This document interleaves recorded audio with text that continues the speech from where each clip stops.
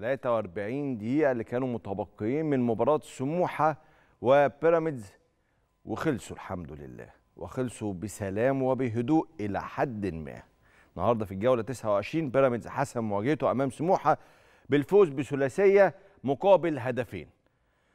المباراة طبعا في الجزء الأول منها اللي اتلعب منذ أيام قليلة كان تقدم حسام حسن لسموحة من ضربة جزاء في الدقيقة 15 وتعادل فيستون مايلي لبيراميدز مع نهاية الشوط الأول ومعها طرد للهاني سليمان.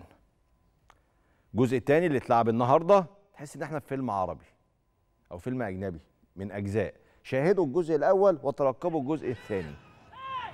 سجل محمود مرع الثاني النهارده لبيراميدز في الدقيقة 72 وبعد كده فخري لقاي سجل الثالث لبيراميدز في الدقيقة 79 عاد سموحة متاخرا في المباراة بهدف لفادي فريد في الدقيقة 91 هدف ما خلاش سموحة ينجو من الخسارة من مباراة اليوم. مشاهد عجيبة. هاتولي هاتولي هاتولي يا شباب اللقطة بتاعت بداية المباراة برمي التماس. حاجات كده تؤرخ في التاريخ. تفضل معانا وماشية وحاجات من الحاجات الغريبة الكتير يعني. أهو بص هاتولي اللقطة.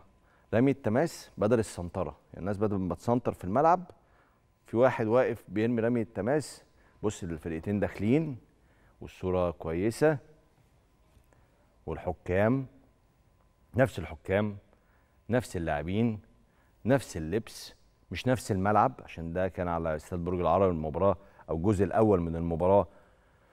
كان أقيم في استاد الإسكندرية.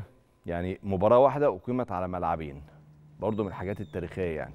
يعني بعد مثلا 50 سنة ولا حاجة هقول لك إيه اذكر لي مباراة أقيمت على ملعبين فتبدأ تحتار يعني إزاي يعني؟ تفتكرها في فزوره هزار يعني فتطلع بجد. ده كان النهارده آه، لاعب سموحة. دي ضربة البداية في المباراة. رمي التماس. حاجات من الحاجات الغريبة. المهم خلصت الحكاية. هل هنا بقى الحكاية خلصت فعلا ولا بيراميدز ممكن يكون عنده مطالب؟ بيراميدز أنتوا فاكرين طبعا كان رافض فكرة إن المباراة تستكمل. سموحة كمان كان متضايق من فكرة إن المباراة هتستكمل بس رئيس النادي آه، المهندس فرج عامر كان قال خلاص لا هنلعب المباراة عادي. طب بعد ما خسروا النهارده هيبقى متضايق ولا عادي؟ كل دي أمور بالنسبة للمباراة. المباراة انتهت وانتهت بفوز بيراميدز.